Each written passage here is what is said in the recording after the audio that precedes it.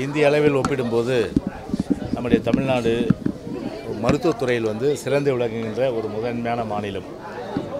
பெரும்பான்மை அதாவது தமிழ்நாட்டிலிருந்து மட்டுமல்ல நம்முடைய இந்திய திருநாட்டிலிருந்து வெளிமாநிலிருந்து இங்கு வந்து சிகிச்சை பெறுகின்ற அளவிற்கு நல்ல ஒரு தரமான சிகிச்சை வந்து தமிழ்நாட்டிலே அளிக்கப்படுகின்றது. எனவே அரசு முழுமைய அளவிற்கு வந்து ஹெல்த் இஸ் வெல்த் ஆரோக்கியமே நலன் என்ற அடிப்படையில் வந்து ஒரு நல்ல திட்டங்கள் அதே போன்று இந்தியாவுக்கே ஒரு முன்மாதிரியான திட்டங்கள் எல்லாம் செயல்படுத்தி வருகின்ற நிலையில்.